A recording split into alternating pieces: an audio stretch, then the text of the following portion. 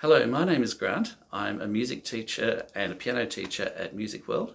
And my question that I've been asked to solve today is how do I put two rhythmically diverse parts together? Uh, the right hand's got a very different rhythmic part, the left hand's got a very different rhythmic part. How do I put it together? And the example I've chosen today is a piece called The Habanera from the grade 1 AMEB syllabus.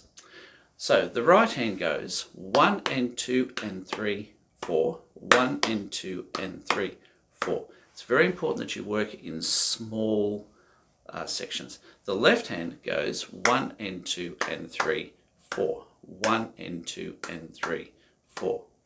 Now usually what happens when people put that together is it becomes like porridge. It's, it's all muddly and our hands don't go together and there's frustration and there's tears. So this is a simple way to fix it.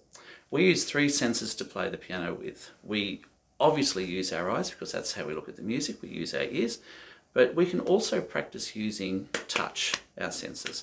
And just like three, four, five-year-olds use uh, body percussion in uh, kinder, we can do the same thing here.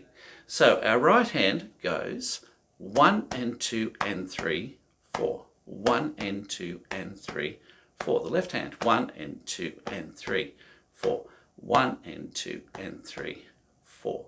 Now we'll slow it down and what we will do, and you can even do it like this, when we're putting it together slowly, together right, together together, left, together right, together together, left.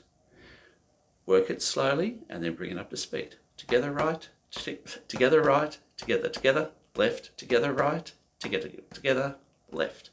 And then you'll be able to play it straight onto the piano and it will be perfect. That's my little two minute solution on Ask Me Anything and how to put two rhythmically difficult hands together.